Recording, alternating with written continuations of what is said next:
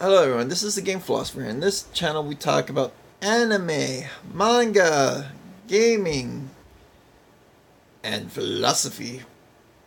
Now, I don't really read a lot of manga, which is kind of funny because I have manga as part of my introduction. Of course, it's a reference to an old popular meme from 2009, but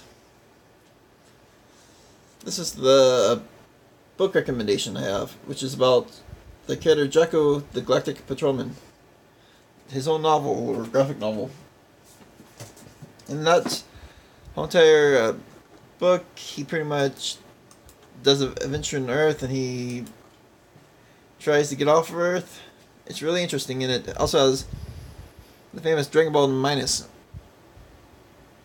Another big thing about Dragon Balls uh, is that you know the movie Broly is coming out. Of course, there have been Broly one, two, three. There have been three Bro- Broly so far. None of them were from Akira Toriyama's perspective, but there's something very common about the, the movies. As much as Broly is a controversial figure, he's actually a big part of Dragon Ball. A lot of people like Broly. Some people think he's dumb but cool. I mean, he totally is dumb but cool. I mean, like he only can talk about one word, which is Kakarot. After he, of course, gets all full of ki and stuff. But he's so cool and very strong, and there's like a lot of energy and stuff. So anyway, when you look at the first one, how did Goku defeat Broly? He asked his friends for strength, then he pretty much shoves his fist right up into the abdomen of Broly and destroyed him. Then, second one and third one, pretty much it follows a similar line where the Z fighters have to work together because you know they're friends and they're going against this ultimate force of nature that's trying to kill everyone named Broly. And in order to do, to do this, they have to all combine as one and defeat him. Now, I'm not sure how exactly similar Akira Toriyama is going to have it, but we know there's at least going to be three different fights. Frieza versus Broly. Then there's Frieza versus, I mean, Broly versus Vegeta. And Broly versus. So the big thing we're probably going to see is either it's going to be isolated fights and Broly pretty much decimates everyone until the end, or we'll see the same thing as the same uh, movies of the past that Broly will decimate everyone, like I just said. Then they all learn to work together and they defeat Broly. Now another option, or Akira Toriyama could make if we look at the original trailer, is what if Broly's actually the good guy?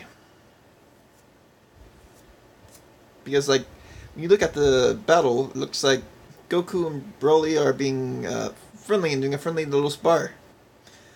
Now this new trailer doesn't show it as much, but it's a possibility, and I think really that uh, when we examine it, there's a lot of power, a friendship that goes on within the battles against Broly because they all have to trust each other and give up all their energy and work as one, as a united unit through Goku, uh, either through the Kamehameha wave or through the punch, to fist Broly and defeat him. And it's something that we have to be very careful about when we're looking at friends, that we pick friends that are very supportive of us, and that we can be supportive back so we can all work as one unit and do really great things. And in business, I think um, the whole entire concept of trying to create a united front together, you could actually defeat someone like a force of nature just through forming a little coalition where people are all united into one and they're all trusting each other. And that's really the big thing about the power of friendship. Now, this is a very short video compared to my usual ones, but that's what you're going to get because there's really not much I can talk about with Broly unless I wanted to get into fan theory, which I usually don't. I mean, like, if I went to fan theory, what would the, this channel become? It would become another game theories or another uh, Geekdom 101. I don't want that.